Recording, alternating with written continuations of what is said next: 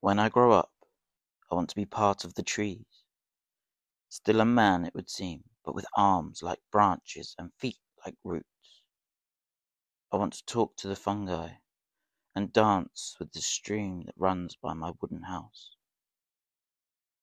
It's not big and it's not small, but it's built with an eye that sees more than trees and leaves, but the beauty of dirty knees and the scrapes that leave red tiny marks that remind me of who I am and what I'm doing.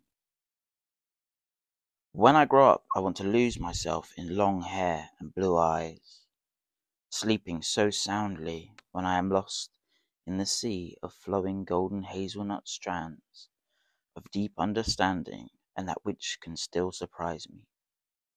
To need only a smile to keep the demons content and sleepy. When I grow up, I want to talk with the ants and fly with owls while the bats fly like mice caught in the strong wind.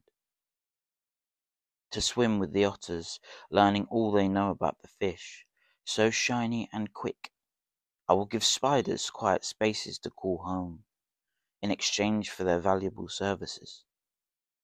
When I grow up, I want to plant myself as a seed amongst something already so beautiful and so free, and see what can and may be. When I grow up, I want to be to be in all senses of what I see as being for purpose and meaning, no matter how small they seem to be. But ask an ant. They are not small. They are quite grand. To not endure the panic of the streets, the rush to complete a mission that never truly ends. When I grow up, I want to feel as I do now, still curious and still fascinated. When I grow up, I want to be just be.